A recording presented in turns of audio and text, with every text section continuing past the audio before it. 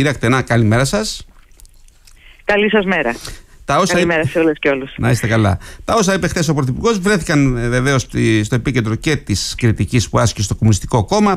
Εξέδωσε και μια σχετική ανακοίνωση. Ε, Βεβαίως η Βορειοανατολική Αττική νομίζω ότι είναι και η εκλογική σας περιφέρεια. Ε, Κάποιες από τις περιοχές που κάηκαν. Σωστά. Δώστε μας μια εικόνα τι γίνεται και πώς ακούσατε όλα αυτά τα οποία υπόθηκαν χθες από την Πεντέλη. Είναι πραγματικά εξοργιστικό και προκλητικό αυτό που ε, στήθηκε χτες εκεί πέρα ε, μετά από άλλη μία πυρκαγιά σε εκείνη, στην πολύπαθη βορειοανατολική Αττική άλλη μία πυρκαγιά με πολύ παρόμοια χαρακτηριστικά με αυτές προηγούμενων ετών με το αν θέλετε καινούριο είναι να φτάσει πια μέχρι το νοικιστικό ιστό της πρωτεύουσα αυτή τη φορά αφού είχε κάψει πάνω από 100.000 στρέμματα όπως είπατε μέσα σε 48 ώρες. Αυτά η κυβέρνηση χθε διαστόματος πρωθυπουργού τα χαρακτήρισε βήματα προόδου. Αυτό που είδαμε χθες ήταν μια κυβερνητική φιέστα ε, που πραγματικά είναι ντροπή και προσβολή για όσους υπέφεραν όσα υπέφεραν αυτές τις μέρες. Και δεν ε, δεν γίνεται να μιλάμε, να λέμε ότι ο μηχανισμός λειτουργήσε με επιτυχία όταν πραγματικά ήταν μόνοι τους οι κάτοικοι. Έχουμε πάρα πολλές καταγγελίες, τα ξέρετε κι εσείς. Ήταν ανεξέλεγκτη φωτιά για 48 ώρες και πλησίαζε, μπήκε μέσα σε κατοικημένες περιοχές. Και δεν έφταναν αυτά.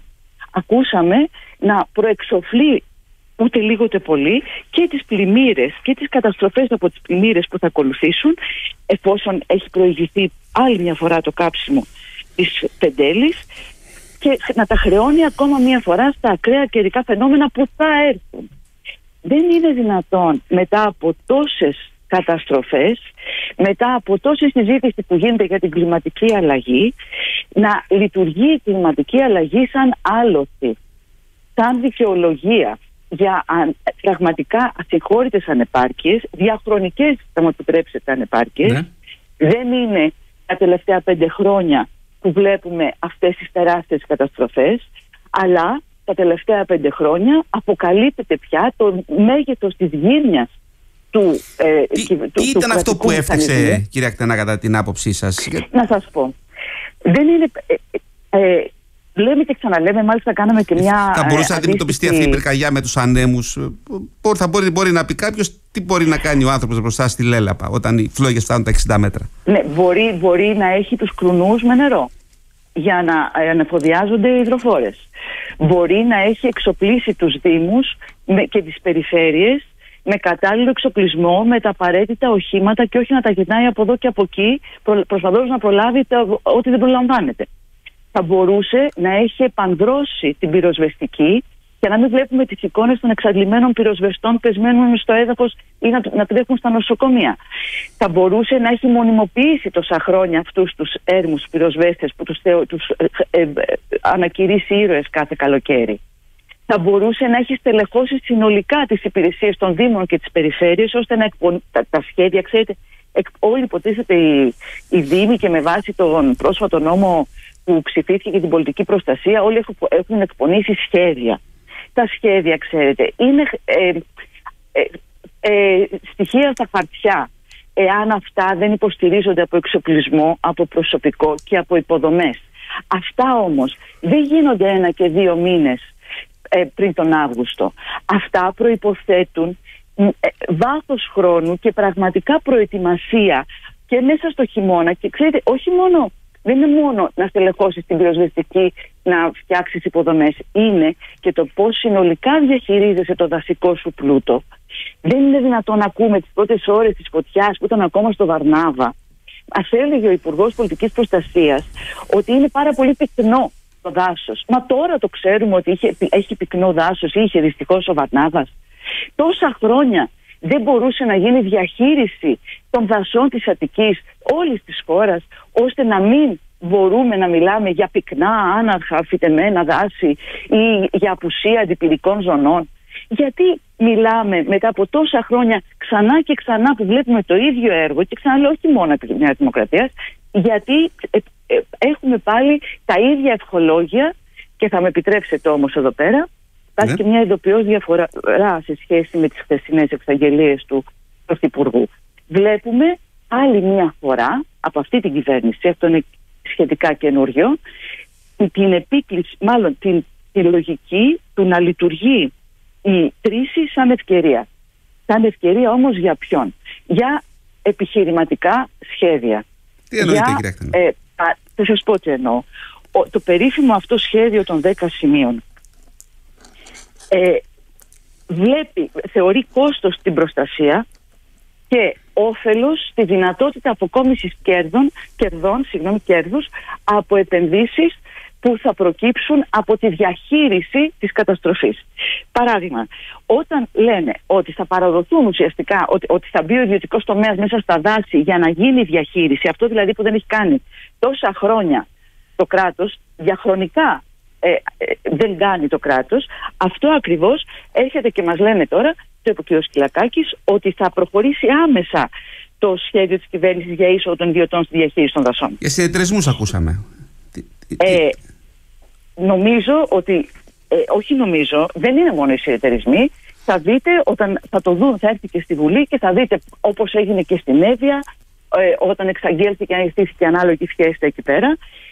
Όταν ε, παραδίδεις την κρατική ευθύνη που έχεις για προστασία της ζωής του λαού και του περιβάλλοντος και της περιουσίας του λαού την παραδίδεις σε συμφέροντα επιχειρηματικά τη λογική του κόστους ωφέλους με δικά τους κριτήρια τότε σίγουρα δεν μπορείς να προστατεύσεις το λαό από ό,τι θα έρθει.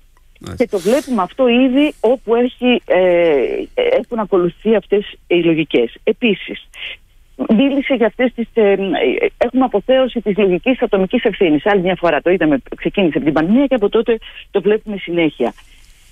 Ε, μιλάει για την πράσινη πεντέλη, να, να πρασινίσουν οι, οι αυλές πεντέλης. Αλήθεια, είναι ευθύνη του κάθε ενός προς το κάτω-κάτω οι άνθρωποι εκεί πέρα ότι όποιος έχει λίγη, ένα κομμάτι γης, ε, λίγο κήπο, τον φυτεύει. Έτσι, στην Ελλάδα το ξέρουν πάρα πολύ καλά αυτό. Είναι αυτός ο τρόπος για να πρασινίσει η Πεντέλη. Είναι δυνατόν να εξαγγέλλονται 50 κάτι, 58.000 στρέμματα για να, για να δώσουν σε 58.000 στρέμματα που είναι μόλις το 5% των καμένων εκτάσεων της Αττικής; Γιατί δεν έχουμε ένα πλαίσιο που να απαγορεύει αλλαγές χρήσης γης προς όφελος της κάθε, κάθε χρόνο, όταν καίγονται, κύριε Ακτενά, ακούμε για εκπόνηση προγραμμάτων αναδάσωσης. Δεν μπορώ να πω ότι έχουμε δει και ένα τεράστιο αριθμό δέντρων στο γύρω-γύρω; Αυτό είναι ένα άλλο θέμα. Ότι κάθε φορά ακούμε για εξαγγελίες, κάθε χρόνο ακούμε για εξαγγελίες. Ε, τώρα εδώ και δεκαετίε. Είναι ένα άλλο ζήτημα. Ναι, σωστά, συμφωνώ. Και ε, αυτό είναι το άλλο ζήτημα. Ότι ακού, ακούσαμε ότι ακούσαμε αυτέ, τα οποία για μας είναι κατεξοχήν προβληματικά και σας εξήγησα γιατί. Αλλά όντως και από αυτά που θα μπορούσε να πει κάποιος ότι είναι θετικά μέτρα, ας πούμε, οι αποζημιώσεις που εξαγγέλθηκαν, το ότι ένα μέρος του θα δοθεί με τη μορφή δανείων, ουσιαστικά τι κάνει, παραδίδει τα αρπακτικά των τραπεζών στους αυτούς που έχασαν τις επιχειρήσεις τους ή τις τις ε, κατοικίες τους. Είναι έγκλημα αυτό που γίνεται. Και ε, αυτό, γι' αυτό και εμείς ε, λέμε στον κόσμο να οργανωθεί και να διεκδικήσει αυτό που πραγματικά μπορεί να τον βοηθήσει να σταθεί στα πόδια του και αυτό είναι 100% ε, αποζημιώσεις χωρίς Συγγνώμη, γιατί έχω μια άλλη γραμμή, με συγχωρείτε. Και...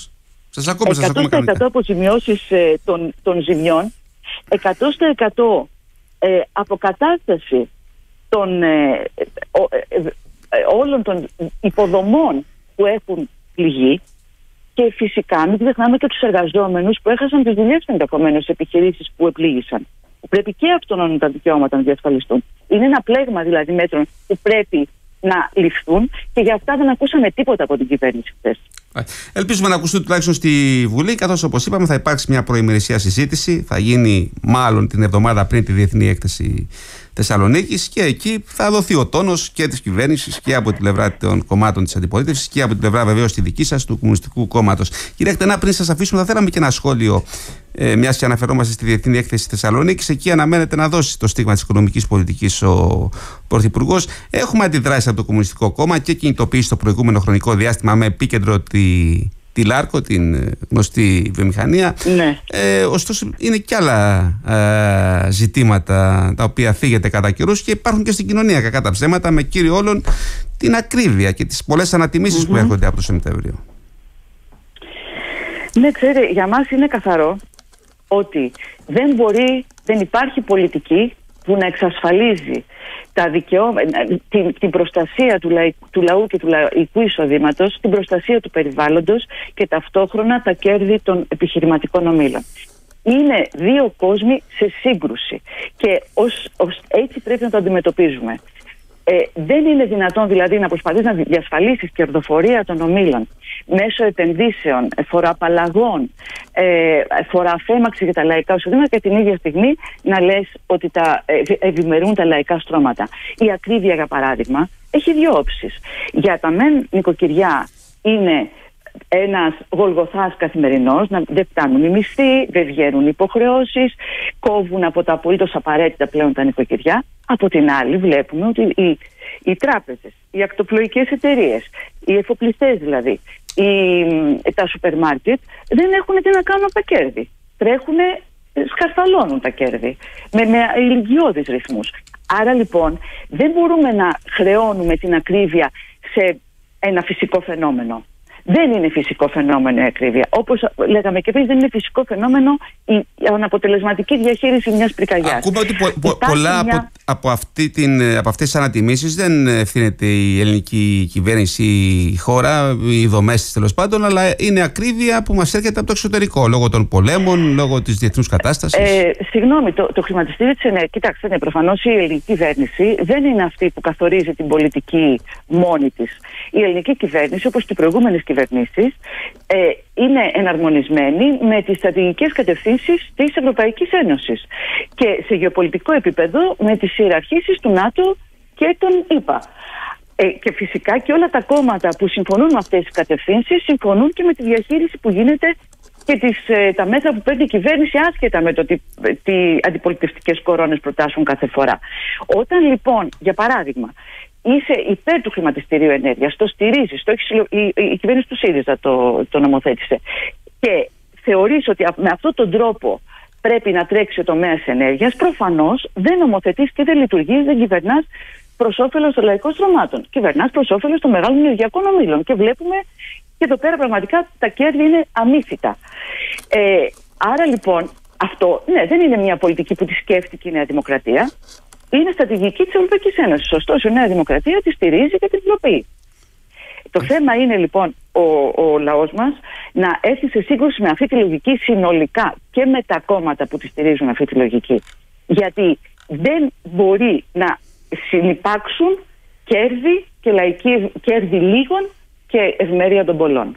Αυτά ήταν πάντοτε σε σύγκρουση μεταξύ τους και θα είναι σε σύγκρουση μεταξύ τους. Κύριε Ακτενά, σας ευχαριστούμε πολύ.